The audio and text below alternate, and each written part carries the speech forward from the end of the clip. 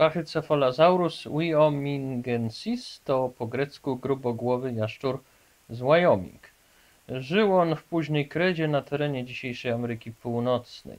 Jego pozostałości znaleziono w Montanie, Dakocie Południowej i Wyoming właśnie. Wymarł z ostatnimi dinozaurami 65 milionów lat temu.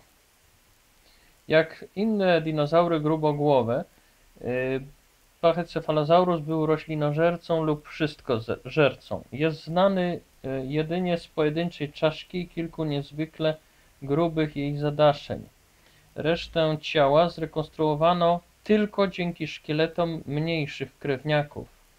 Czaszka posiadała bardzo grube sklepienie, dlatego uważano, że pachycephalozaury używały swych głów w walkach w okresie godowym lub w obronie terytorium.